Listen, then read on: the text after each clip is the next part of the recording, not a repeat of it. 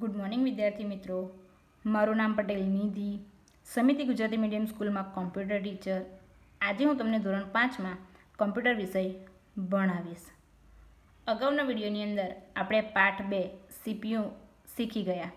સીપીયુના ત્રણ ઘટકો છે આપણને ખબર જ છે. કયા કયા? તો કે સીયુ એટલે કે કંટ્રોલ યુનિટ એએલયુ એટલે કે એરિથમેટિક એન્ડ લોજિક યુનિટ અને ત્રીજું છે મેમરી યુનિટ ચાલો આજે આપણે એને વિસ્તારમાં શીખીએ. પહેલું છે કંટ્રોલ યુનિટ એટલે કે સી યુ નામ સૂચવે છે તે પ્રમાણે કંટ્રોલ યુનિટ કમ્પ્યુટરની અંદર થતી બધી જ ક્રિયાઓનું સંચાલન કરે છે. તે ડેટાની આવન જાવનનું સંકલન કરી પ્રોસેસિંગ અને સ્ટોરેજનું નિયંત્રણ કરે છે. મેં તમને અગાઉ આ જે આકૃતિ આપી છે એ સમજાવેલું. એની અંદર તમને મેં કીધું જ હતું કે ઇનપુટ ડિવાઇસની મદદથી આપણે કમ્પ્યુટરને એટલે કે ઇનપુટ આપીએ છીએ. એ ક્યાં જાય છે? કંટ્રોલ યુનિટમાં જાય છે સ્ટોર થવા માટે.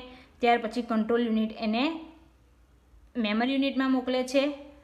કંટ્રોલ યુનિટમાં જઈને એ મેમરી યુનિટમાં સ્ટોર થાય છે. મેમરી યુનિટ પાછું કંટ્રોલ યુનિટમાં જઈને એ એરિથમેટિક એન્ડ લોજિક યુનિટ એટલે કે એ એલયુને પ્રોસેસ કરવા માટે મોકલે છે. તો એ શું કરે છે? સીયુ એ આપણા જે તે ઇનપુટ ડિવાઇસની મદદથી આપણે ડેટા આપીએ છીએ, એનું પ્રોસેસિંગ અને સ્ટોરેજનું નિયંત્રણ કરે છે. ઇનપુટ ડિવાઇસ પાસેથી કંટ્રોલ યુનિટ ડેટા મેળવે છે અને તેને મેમરીમાં મોકલે છે. મેમરીમાંથી કંટ્રોલ યુનિટ ડેટાને એએલયુમાં મોકલે છે અને ડેટા પ્રોસેસિંગ કરવા અને માહિતી તૈયાર કરવા માટે જરૂરી કમાન્ડ એએલયુને આપે છે. એ આકૃતિની અંદર મેં તમને સમજાવેલું હતું કે ઇનપુટ ડિવાઇસની મદદથી કંટ્રોલ યુનિટ ડેટા મેળવે છે, એ મેમરીમાં એને સ્ટોર થવા આપે છે, એ મેમરીમાં સ્ટોર થઈ જાય પછી એએલયુને એ પ્રોસેસ કરવા માટે આપે છે અને જે તે પ્રોસેસ કરવાની છે એનો કમાન્ડ પણ એ એએલયુને આપે છે. કંટ્રોલ યુનિટ એએલયુ પાસેથી પરિણામ મેળવે છે અને ફરીથી તેને મેમરીમાં મોકલે છે. હવે એને એએલયુને કમાન્ડ આપી દીધો પ્રોગ્રામ આપી દીધો. હવે એ જે તે પ્રોગ્રામ પર પ્રોસેસ કરે છે પ્રોસેસ કર્યા પછી પાછો એ જે આઉટપુટ મળે છે, એ આઉટપુટ મેળવે છે. કોણ મેળવે છે? કંટ્રોલ યુનિટ અને એને પાછું મેમરી યુનિટમાં સ્ટોર કરવા માટે મોકલી આપે છે.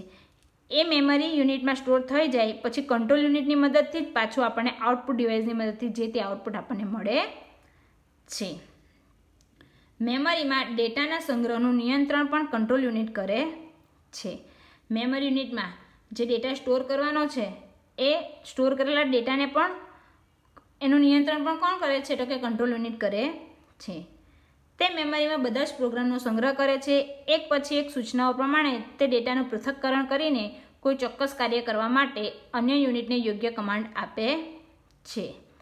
મેમરી યુનિટમાં જે તે ડેટા સ્ટોર કર્યા પછી એને પૃથક્કરણ એટલે કે એને વિસ્તરણ કરીને એને ચોક્કસ કાર્ય કરવા માટે એટલે કયું કાર્ય કયું યુનિટ કરશે એના માટે એ એને છૂટું પાડીને એને કાર્ય કરવા માટે જે તે ડિવાઇસને મોકલી આપે છે.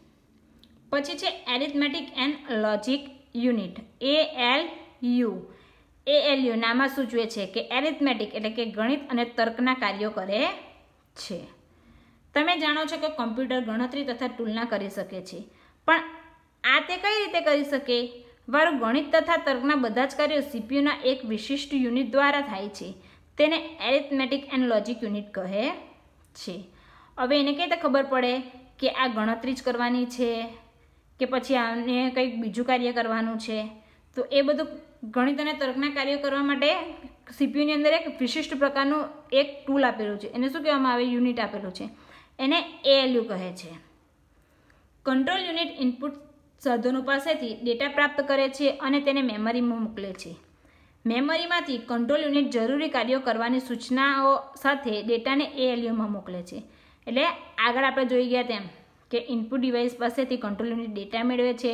ડેટા મેળવીને એ ડેટાને મેમરીમાં મોકલે છે.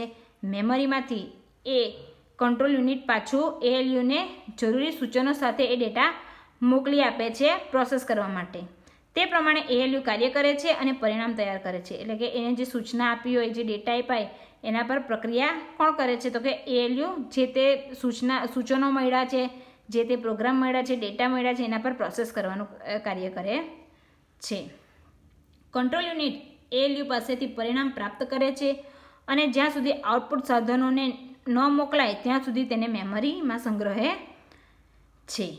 કંટ્રોલ યુનિટ જે આપણું પરિણામ આવ્યું તે એએલયુ પાસેથી લે છે અને જ્યાં સુધી આઉટપુટ ડિવાઇસમાં એટલે કે આપણને આઉટપુટ નહીં મળે, ત્યાં સુધી એ મેમરીમાં તેને સંગ્રહે છે. હવે એએલયુમાં કાર્ય કઈ રીતે થાય છે ગણિતનું? તો જોઈએ. એ એલયુ ગણિતના કાર્યો કરે છે. સરવાળા બાદબાકી ગુણાકાર ભાગાકાર. આપણે કેમ? પ્લસનું સાઇન હોય તો આપણે કહીએ કે આનો સરવાળો કરવાનો છે. માઇનસનું સાઇન હોય તો આપણે કહીએ કે આની બાદબાકી કરવાની છે. એ રીતે. ઉદાહરણ તરીકે પાંચ વત્તા પાંચ બરાબર દસ. તમે પાંચ વત્તા પાંચ કરો. પાંચ પ્લસનું સાઇન દબાવો. પાછા પાંચ દબાવીને બરાબરનું ચિહ્ન દબાવો. તો એ તમને દસ જ જવાબ આપે છે. નીકે ઝીરો કે નીકે પચીસ. એ એલ્યુ તર્કના કાર્યો પણ કરે છે. એટલે કે તે બે અંકોની તુલના કરે છે અને શોધે છે કે એક અંક બીજા કરતાં નાનો છે કે મોટો. એટલે એ ગણતરી તો કરે જ છે, સાથે સાથે બે આંકડાને તુલના પણ કરે છે કે કયો આંકડો મોટો છે અને કયો આંકડો નાનો છે. હવે દાખલા તરીકે જોઈએ, વીસ એ મોટા છે ચાલીસ કરતાં, એટલે કે ટ્વેન્ટી ગ્રેટર દેન ફોર્ટી. આ વિધાન ખોટું છે, કેમ કે ચાલીસ મોટા હોય છે જ્યારે વીસ નાના હોય છે. સાઠ એ નાના છે સો કરતાં એ વિધાન ખરું છે. તો આ રીતનું એ તર્કનું પણ કાર્ય કરે છે. એ એલ્યુ કોઈ વિધાન ખરું છે કે ખોટું તે પણ જણાવે છે. એટલે કે દસ વત્તા વીસ બરાબર ચાલીસ એ ખોટું છે. જ્યારે ત્રીસ ગુણ્યા વીસ બરાબર છસો એ વિધાન ખરું છે. એટલે કે એ ગણિતના કાર્યો પણ કરે છે, તર્કના કાર્યો પણ કરે છે, પણ સાથે સાથે એ જે તે વિધાન સાચું છે કે ખોટું તે પણ એ આપણને દર્શાવે છે. પછી છેલ્લું છે મેમરી યુનિટ.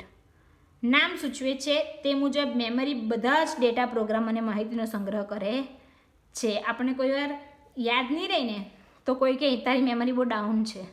અથવા તો બધું યાદ હતું ને, તો કે આની મેમરી બહુ પાવરફુલ છે. એમ કહીએ ને, તો એ શું કરે છે? બધા જ ડેટા અને પ્રોગ્રામ અને માહિતીનો એ સંગ્રહ કરે છે.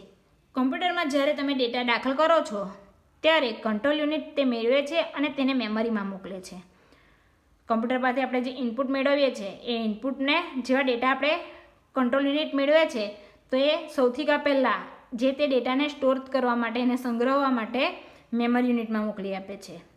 મેમરી યુનિટમાંથી કંટ્રોલ યુનિટ પ્રોસેસ કરવા માટે, માહિતી તૈયાર કરવા માટે ડેટાને એએલયુમાં મોકલે છે. એટલે જે આગળ પ્રોસેસ આવી તે જ પાછી સેમ રિપીટ કે કંટ્રોલ યુનિટ મેમરી યુનિટ પાસેથી ડેટા લઈને એ એએલયુને પ્રોસેસ કરવા માટે. સૌથી કાં પહેલાં તો ઇનપુટ ડિવાઇસ પાસેથી ડેટા લે છે. કોણ? Control unit. મોકલે છે એ મેમરી યુનિટમાં સ્ટોર કરવા માટે. મેમરી યુનિટમાંથી ડેટા પાછા કંટ્રોલ યુનિટ લઈને એ એલયુમાં એને પ્રોસેસ કરવા માટે મોકલી આપે છે. એ એલયુ દ્વારા તૈયાર કરાયેલ માહિતી કંટ્રોલ યુનિટ પ્રાપ્ત કરે છે અને ફરી સંગ્રહ માટે મેમરીને મોકલે છે. હવે એ એલ્યુને માહિતી અને પ્રોગ્રામ મોકલી આપ્યો. એના પર પ્રોસેસ થઈ ગઈ. આઉટપુટ તૈયાર થઈ ગયું. હવે એ આઉટપુટને પણ આપણે સંગ્રહ કરવું જરૂરી છે. તો એ પાછું આઉટપુટ સંગ્રહ કરવા માટે કંટ્રોલ યુનિટ એએલયુ પાસેથી આઉટપુટ લઈને મેમરી યુનિટમાં એને સ્ટોર કરવા માટે મોકલી આપે છે. છેવટે કંટ્રોલ યુનિટ સંગ્રહ કરેલી માહિતી આઉટપુટ ડિવાઇસને મોકલવા માટે મેમરીને સૂચના આપે છે. ઇનપુટ આવી ગયું પ્રોસેસ થઈ ગઈ આઉટપુટ તૈયાર થઈ ગયું. હવે કંટ્રોલ યુનિટ મેમરી યુનિટને સૂચના આપે છે કે આપણું આઉટપુટ તૈયાર છે. તો જે તે યુઝરને જે તે ઉપયોગ કરતા છે તેને આપણું આઉટપુટ તમારે આપી દેવાનું છે. એટલે કંટ્રોલ યુનિટ મેમરી પાસેથી પાછું આઉટપુટ મેળવે છે અને આઉટપુટ ડિવાઇસની મદદથી જે તે યુઝર એટલે કે આપણે જે ઉપયોગ કરતા છે એને જે તે આઉટપુટ દર્શાવે છે. Thank you